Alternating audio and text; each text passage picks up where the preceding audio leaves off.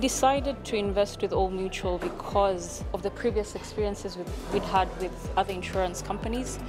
And uh, in our agent uh, from Old Mutual, we found really personalized and reliable service. So, and so far it's been it's been great. After being with them for two years, we've uh, ventured into.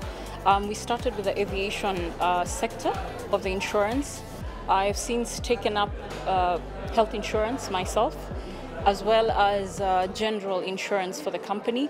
So this move means that we have all those services consolidated uh, in one building and it will be easier and more convenient to to get uh, those services delivered when it comes to renewals and the likes or inquiries or claims. So this this is a good step for the uh, for for them as an insurer and for us as their clients.